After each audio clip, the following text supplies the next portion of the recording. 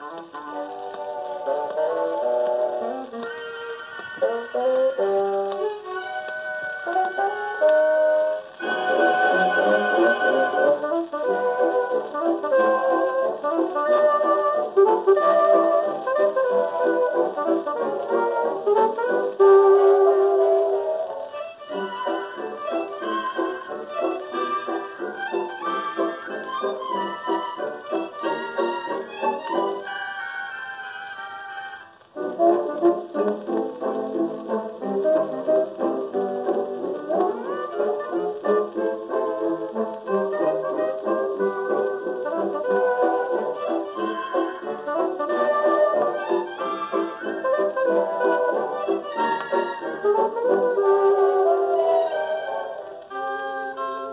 Thank you.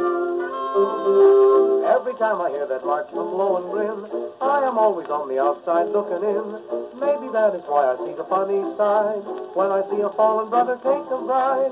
Weddings make a lot of people sad, but if you're not the groom, they're not so bad. Another bride, another June, another sunny honeymoon, another season, another reason for making whoopee.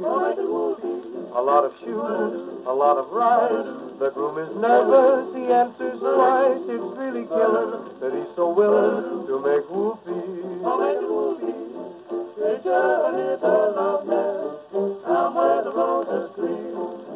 Picture the same sweet loveness, think what a year can bring. He's washing dishes and baby clothes. He's so ambitious, he even sews. But don't forget, folks, that's what you get, folks, for making whoopee. For making whoopee.